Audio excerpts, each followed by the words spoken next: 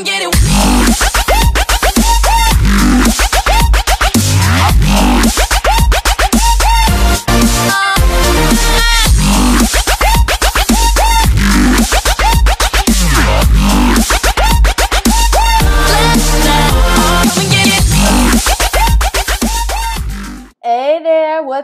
Good? So today I'm using one of my best friends, Mahal, to show off this look from the Revealed 1 palette from Coastal Scents. It's supposed to be the perfect dupes for Urban Decay's Naked 1 and 2 palettes, and it's very darn affordable, I tell you that. I'm starting out with an eyeshadow primer. This will help keep it all in place, and to me, primers help the eyeshadow appear the best that it can on the eyelid. Now, if you don't have one, that is perfectly okay. Concealer works just fine. Now, I'm not quite sure the name of this color right here, so I'm just going to go with a mauve brown, if that makes any sense. It's a very, very buildable, I would say, and I'm actually not going to go too hard on the color on her eyes because I am trying to, still trying to go for that natural kind of look. I want the glam part to this look to be more from the eyeliner and mascara but it is a very natural color and I'd say it goes really well with Mahal's beautiful bright blue eyes.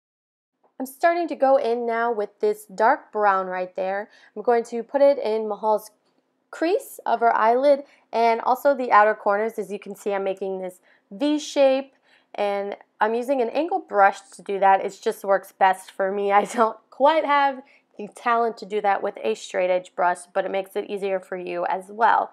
And with this color that I'm using, it actually got on the brush very well. You don't have to press very hard or anything. So just keep, uh, keep that in mind um, so you don't get too much product on the brush. But if you do and get these harsh edges, that's okay because we are now about to dot dot dot blend, blend, blend, blend it out, get those edges and smooth it into the other color that's already on the eyelid there. And look at that, it's already looking better. And there's Mahal. She even agrees. You see that little smile? and just keep doing that until you reach to a look that you feel comfortable with. Now I'm going to use this color right here that is the perfect dupe of Suspect from the Naked 2 palette. And I'm just patting it in the center of Mahal's eyelid. This will create a really nice highlight and the way that the light hits her eyelids will pick that up very nicely. It's a very buildable color, so I'm just going to put a little bit more on than usual, just so I could get a little bit more of a shimmery look. Now, just like before, we're going to take our blending eye brush and blend that color out into the other darker brown that we already have there.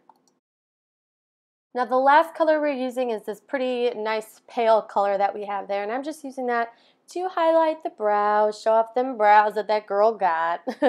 and this is a very buildable color as well, but actually to my surprise, a lot of product came on. As you can see right there, look at that, oh my goodness.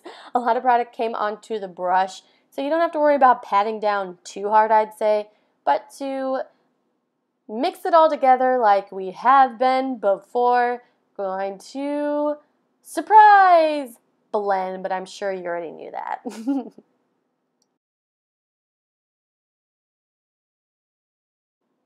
Now this part is completely optional. I'm taking that angled eye brush that we used on Mahal's crease and outer corner and that dark brown as well and I'm just lining the lower lash line to create a little dimension into this eye look. You can use eyeliner, you don't have to do this at all, whatever you feel comfortable with. This is completely up to you, but I wanted to keep a little bit of a natural look here. And there you have it. All you need is a little bit of eyeliner and mascara, and you're good to go.